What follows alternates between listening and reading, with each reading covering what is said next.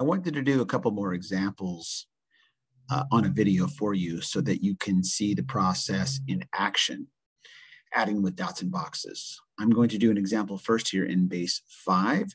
So hopefully you're getting used to that language. That means we're talking about a five to one machine. Any group of five will regroup as one dot to the left.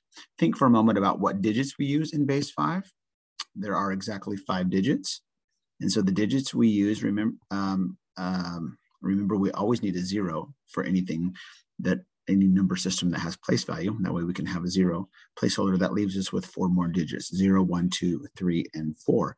We will not have a five in base five as any group of five will regroup to the left.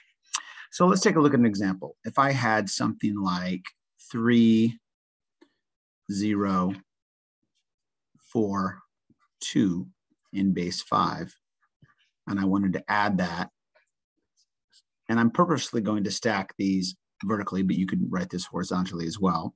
I want to add that to two, two, two, three, base five. You can place these two numbers into the same base five dots and boxes structure and just kind of see what happens. So I used two different colors on the previous pages that you reviewed, and I'm going to do something similar here. So I'll write the first number in using my, my black pen, 3042. So I'd put three dots, zero dots, four dots, and two dots. Now you'll notice I didn't label the place values, and it's because I don't really care so much what the place value is here. I'm not asking what is the value of this number in base 10, for example. I'm only asking what is the answer, the solution to the addition problem in base five. So I'm just going to work entirely in base five. So then I'm, I'm going to use uh, my red pen to do the second number, which is the 2223. So it's two dots, two, two, and three.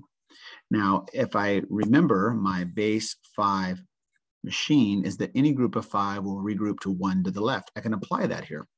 So starting in the ones place, that's all the way to the right. Notice I have a group of five there. That will explode or regroup and make one dot to the left. Now I have six dots, uh, excuse me, seven dots there.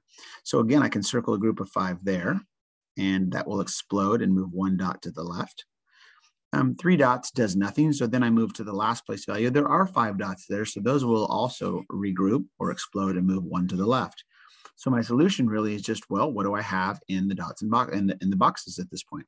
I have one dot, I have zero dots, I have three dots, I have two dots, and I have zero dots. Remember, anything that's grouped or exploded, anything I've circled and crossed out is not considered to be anything left there. And so that my solution is just simply that code, one, zero, three, two, zero, base five. Let's do a secondary example, but maybe just a slightly faster. Okay, so let's say we have an example in uh, a little bit larger base. Let's try base eight. Okay, so that means any group of eight will explode and make one to the left.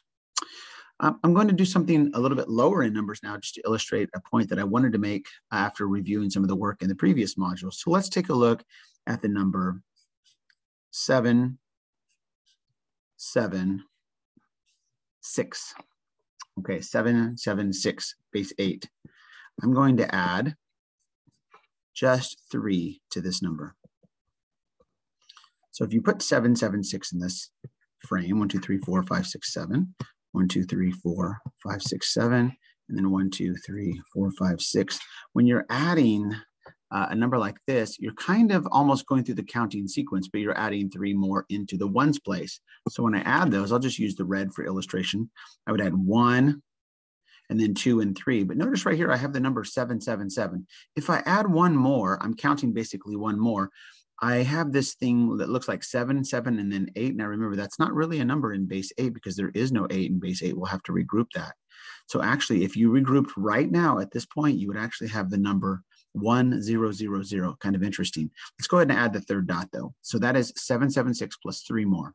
Now, when we go through the process, circling any group of eight, we can see that we have a group of eight right there. It explodes and makes one dot to the left. A group of eight right there. It explodes and makes one dot to the left.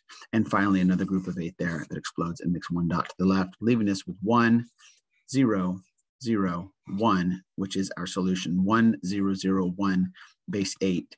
We do not need to move this to base 10. We are done with the calculation.